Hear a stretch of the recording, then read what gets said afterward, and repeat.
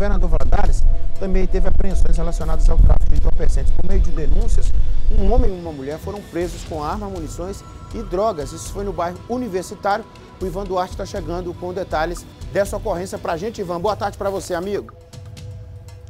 Oi, Nico. Boa tarde para você também, a todos que estão acompanhando o balanço geral.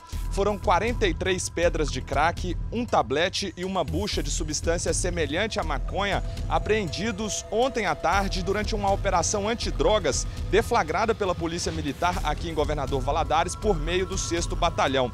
De acordo com o boletim de ocorrência, um casal é suspeito de envolvimento com o tráfico. Parte da droga foi encontrada na roupa da mulher e a outra parte na residência em que o casal mora, Nicomedes. Além disso, também foi apreendido um revólver calibre 22, munições e dinheiro. Chama a atenção, Nico, que a arma de fogo estava escondida dentro de um pacote de arroz na cozinha da casa. Os policiais têm informações que este revólver foi utilizado no dia 17 de abril deste ano para cometer uma tentativa de homicídio no bairro Floresta, aqui em Governador Valadares.